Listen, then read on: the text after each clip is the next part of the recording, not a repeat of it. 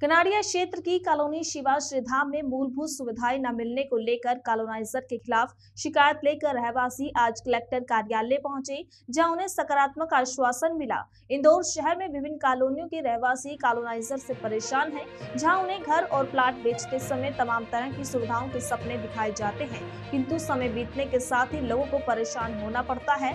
ऐसा ही एक मामला नगर निगम के अंतर्गत वार्ड क्रमांक सत्तर और जोन क्रमांक उन्नीस के अंतर्गत आने वाली शिवा श्रीधाम कॉलोनी का सामने आया। आपको बता दें, कनाडा इलाके में स्थित इस कॉलोनी को Shri Ganesh real mart, real estate company द्वारा काटी गई थी, जहाँ कंपनी के प्रमुख ईश्वर मखीजा पर रहवासियों ने कई तरह की गंभीर आरोप लगाए हैं। रहवासियों ने कलेक्टर कार्यालय पहुंचकर आज कलेक्टर इलैया राजा के समक्ष कॉलोनाइजर की शिकायत करते हुए कहा कि उन्हें इसी तरह की मूलभूत सुविधाएँ नहीं मिल रही हैं। वहीं क्षेत्र में वाहन चोरी जैसी घटनाएँ बढ़ रही है, जिसको लेकर रहवासियों ने मिलकर एक गार्ड कॉलोनी के मुख्य गेट पर बिठाया है। वही कॉलोनी में पानी ड्रेनेज सहित कई तरह की तकलीफ़ है जिससे रोज परेशानियाँ हो रही हैं। कॉलोनी के रहवासी और पवन खरे ने बताया कि आज इस जिलाधीश से मिले और वहाँ उन्हें इस मामले को लेकर सकारात्मक आश्वासन मिला है।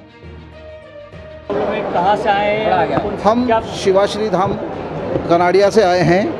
और हमारे कॉलोनी नाजर, श्री गणेश रियल मार्ट द्वारा जो भी मूलभूत सुविधाएँ हैं, वो हमें नहीं दी जा रही है। कॉलोनी नाइजर द्वारा जो बनाया है कॉलोनी के फ्रंट में गार्डन वगैरह जो बनाए वो कमर्शियल प्रॉपर्टी वालों ने तोड़ दिए।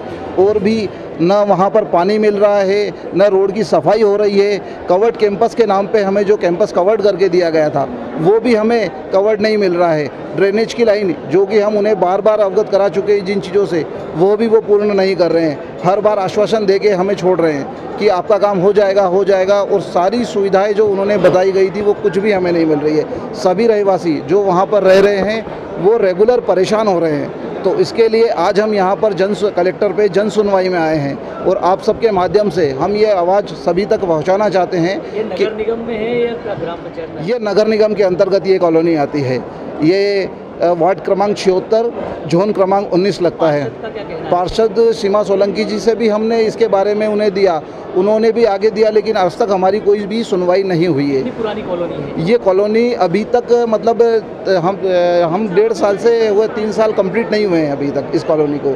कि रेरा के अंतर्गत ये बताया जाता है कि तीन साल तक सारी कॉलोनी को डेवलपमेंट शुल्क नहीं लिया जा रहा है। हम रहवासी ही कुछ ऐसा करके काम करना चाह रहे हैं। गार्ड की सुविधा नहीं दी थी तो हम सब लोगों ने ये कलेक्शन करके गार्ड बिठाया।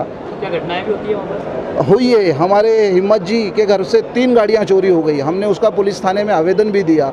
उसके बाद में पीसीआर आने लगी है कि रात में राउंड पर लेकिन बाकी हर तरफ़ से ट्रांसफार्मर खुले पड़े हुए हैं सभी से घटना का कुछ ना कुछ भय बना रहता है हम सबके लिए।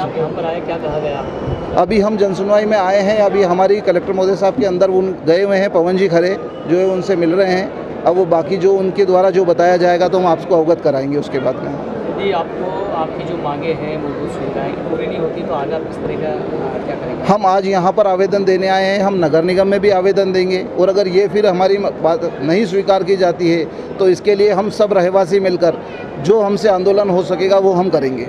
जनप्रतिनिधि क्या कहते हैं पार्षद के अलावा अन्य विधायक वगैरह विधायक जी तक अभी हम नहीं गए हैं। अभी तक हमने पार्षद जी तक ही गए हैं। विधायक जी से अभी तक हमने संपर्क नहीं किया है। Colonizer Shri Ganesh real mart Ishwar ji Makija colony का नाम क्या है? शिवाश्री धाम। आपका नाम? मानक जांगिड़ भाई साहब क्या हुआ आज आप यहाँ पर आए? मैं हम लोग आए थे हमारी कॉलोनी के लिए यहाँ पर कुछ मूलभूत सेवाओं की उपलब्धि के लिए। तो सर से अभी नंबर लिया था और उनसे मिल चुका हूँ मैं कलेक्टर साहब से। उन्होंने कॉलोनाइज़र को एक हफ़्ते का टाइम दिया है। यदि वो एक हफ़्ते में हमारी मूलभूत सुविधाएँ पूरी नहीं करता है तो वो एज़ पर द रेरा या जो भी गवर्नमेंट नॉर्म्स हैं उसके हिसाब से वो कार्रवाई करेंगे। कॉलोनाइजर ने चीज़ एक्सेप्ट की है कि सर फ़ोन पर उनकी बात हुई है वो बोल रहे हैं कि मैं एक हफ़्ते के अंदर अंदर चीज़ें सॉर्ट आउट करके देता हूँ। आपको कितनी उम्मीद है? ये तो एक हफ़्ते बाद ही मैं आपको कोई स्टेटमेंट दे पाऊँगा। आपका नाम? पवन खरे। कौन सी कॉलोनी है? शिवाश्री धाम कनाडिया रोड।